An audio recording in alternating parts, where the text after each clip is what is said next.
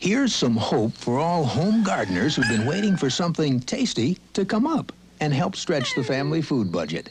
You've been facing the same problems growers always have. Right from the start, man found the good earth good and hard.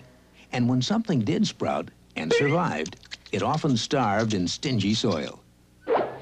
Well, over the past half century, Chevron scientists have come up with a lot of things to help growers. Things to make seedlings strong and the hungry hordes weak. To make crops get up and grow. To help hard, dry soils drink up and make farming colorful again. Today, to help meet the needs of a growing, hungry world, new ideas are blossoming out of Chevron even faster. Things to help make your garden and budget healthier. To make every acre count for the farmer.